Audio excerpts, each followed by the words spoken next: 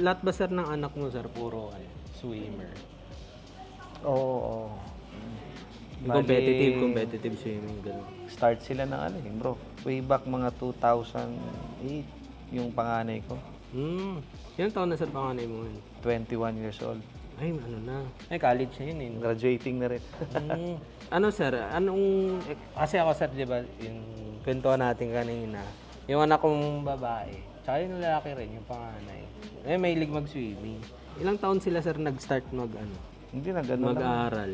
Kasi sa, parang wala namang formal training din yung mga anak ko eh, pero kung sakali ba? Hindi bro, yung sa akin, tawag dito, hindi rin namin expect kasi Yan, parang naging hilig na lang nila.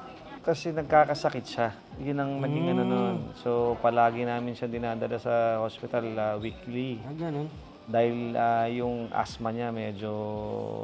So, yun yung nakatulong sir. Ngayon, meron kasi kaming isang friend na na nandun na sa sport na yon. Hmm. So, tinry lang namin from learn to swim. Tapos yun, hindi mo masabi kung ano eh. Kung may enjoy nyo. Oo, oh, may enjoy niya. So, doon kami sa learn to swim lang. Hmm. Tapos ano yun sir, may formal training na siya. Yun, doon na. After na learn to swim, mayroon na siyang stroke na nagustuhan. Kunyari, ah, freestyle. O, At tapos ikaw, ikaw mag-ano nun sir? Ikaw yung, kung ano yung hindi, stroke na yung ano? coach makakakita nun kung ano yung Ah, magandang... ganun. ah, Stroke na- Hindi, yung, yung parang nakikita niya na may potential siya. Ah, okay, okay, okay.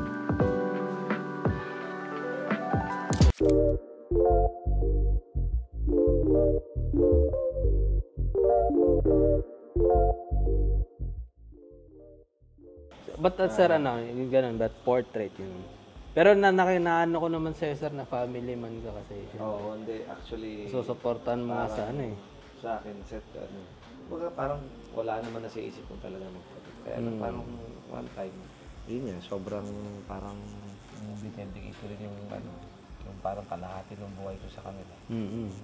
Ang hirap nun, sir. ah. I mean, yung talagang maging stage parent. Oo. Sabi ko kami dalawa ng wife ko, magmula na nag-start yung panganay namin na nag-swim, Mm.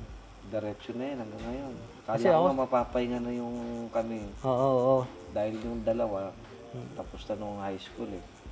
So, varsity na tapos na. Mm. Eh, dumango ito, itong pinatuan mo ko dito, ito, dumango ulit. Eh, mas, mas parang nag-ano siya, mas nag-excel doon sa dalawa. Hindi naman ano, pero yung panganay ko kasi tsaka yung ano, se- second namin, nagpapalarong pambansa sila, pero mga top 14, gano'n. Mm. Ito, hindi namin, ano, na-expect na magpo-podium. Mm. Kaya tuwan-tuwa kami. Yun, ano rin ako kasi, 'di ba? Eh, may mga anak din ako. Parang sa ngayon, gusto kong mag-ano sila. Pero, yung mag-ano, mag-sports, ganun. Pero being a stage parent, ang hirap. Mahirap to sa totoo lang.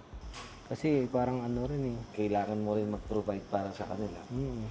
So, sabi ko minsan, yung kagaya ng ibang parents na yung hectic kagaya ng schedule nyo. No. Minsan kami yung ano, nagpupuno ron, nagpupuno. Gustuin ko man, siguro, syempre, parati akong wala eh. Kaya totoo yun. Nakakabilib yung mga ganun na, I mean, pag iniisip ko, parang kaya. eh. Oo. ano yung parang nakakabilib yung merong mga ganun na mga bata na. Pagod mo eh. Mm. Lala, eh, sabi mo, lalangoy nila. 5,000 sa isang araw. Sa umaga lang, morning. 2,000 sa hapon. Sa 7, parang 7 kilometers every day. Pero kung ako siguro, sir, kung naging dream ko rin maging athlete. Kasi may, syempre, sa tattoo, sir, kailangan din ng discipline eh, di ba? Hindi, totoo. Hindi, tsaka mas mahirap ito sa totoo lang. Kasi detail dito pinag-uusapan natin.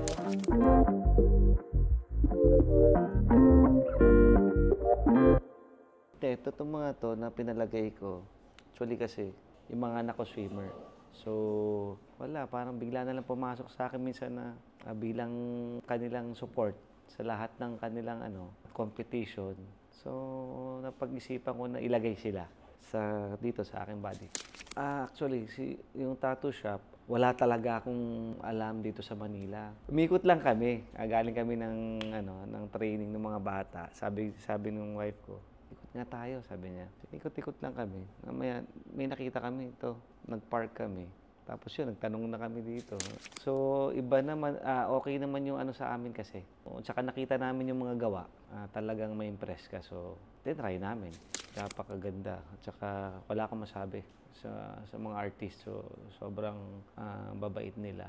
So, ah, kay Seth, tawag dito, wala akong masabi dahil ah, sa sobrang galing niya, wala na akong masabi. Na-impress ako sa gawa niya. Yung detail ng paggawa niya, sobrang galing. Kuhang-kuha niya. So, actually, nung nakita ko eh, bala ko na ng mga dagdagan, pero magpapahinga muna ako. Thank you, Seth, ah, ah, sa ano, ah, maganda mong ano, pagtato.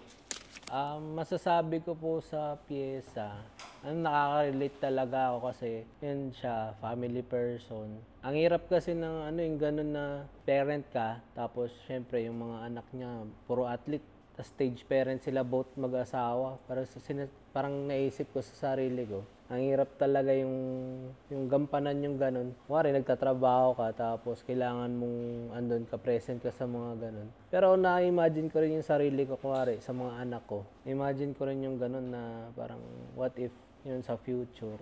Kaya kailangan talagang balansehin. Kaya natuwa rin ako sa pyesa kasi, alam yun, nasa parent, nakaka-relate din ako. Iba na rin talaga yung mga hilig ngayon ng mga bata. I mean, yung mga, yung generation ngayon. Kaya may mga ganun na kailangan mo na suportahan, mga ganun. Natuwa talaga ako sa pyesa. Yung mga ganun pyesa nakakatuwa talaga, ano yun eh, gawin. Lalo portrait. anyway, ano naman eh, pag, pag mga portrait, given naman talaga na mahirap yung portrait. Pero yun, na na-enjoy ko talaga yung mga mahirap eh. Na, ah, I mean, mga madetalye. Lalo yung mga maliliit. Liit ng portrait eh. Ilang ito, mga 2 and a half inch ata per ulo nun. Or maybe 2 inch lang. So, mm, yun, na-challenge ako. Tsaka, na-enjoy ko. Um, ini-invite ko po kayo dito sa Solar Boy Tattoo Studio, 190 Tomas Marato, Corner Scout Gandia, Quezon City. Meron po kaming 30% off ngayon sa new clients and sa may ah, referral sa new new clients. So, see you po at saka excited po ako magawa yung ano, yung mga bagong tattoo nyo.